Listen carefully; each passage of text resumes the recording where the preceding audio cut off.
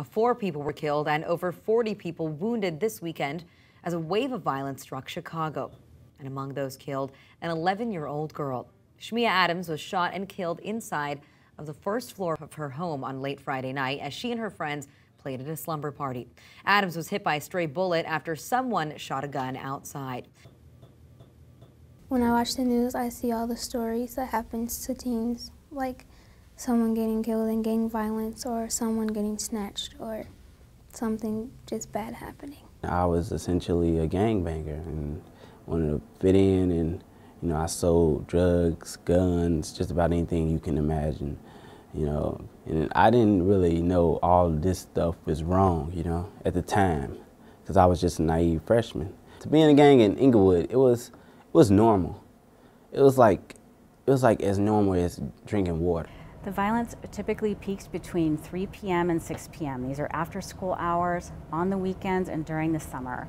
And it's no surprise, I think, that all of those times are times when young people are not in school or when school is out of session, which is why we have um, really invested in after school programs and summer programs because we recognize that um, if young people don't have a place to go um, and school is not available to them, um, it increases the likelihood that they might be involved in some kind of violence.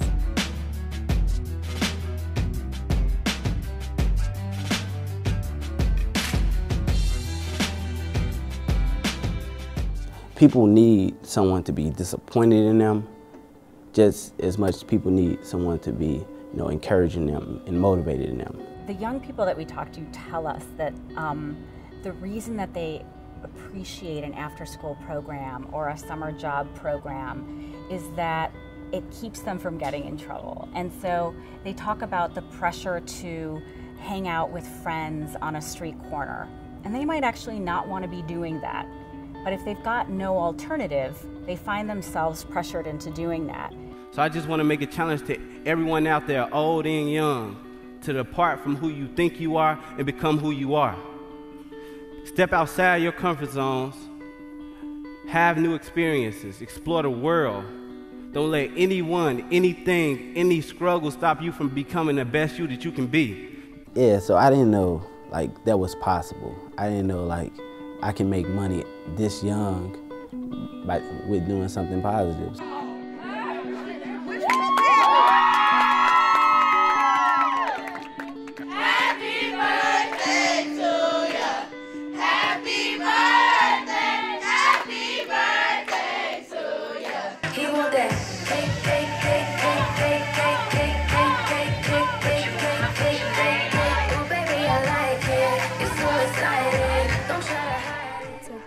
It's a good thing to have an after school program, 100%, because without it, kids have nothing else to do. Like, I think we need after school programs, like, it's just the best way to go. Share your story with people because you're somebody. All of you somebody. You're worth listening to.